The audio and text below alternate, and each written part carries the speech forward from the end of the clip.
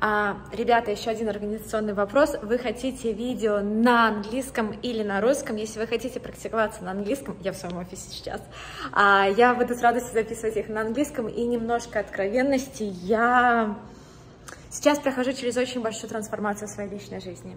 Очень большую. И я это делаю смело и решительно. И мне нужно какое-то занятие, которое бы мне давало силы и вытягивало бы меня из этого состояния. И я поняла, что YouTube будет той платформой, которая мне поможет. И вы, зрители, будете теми людьми, которые мне помогут. А, поэтому, ребята, вы сейчас проводите не, не просто временные тебе, но вы еще проводите спасательную операцию а, по спасению меня от падения в глубочайшую депрессию.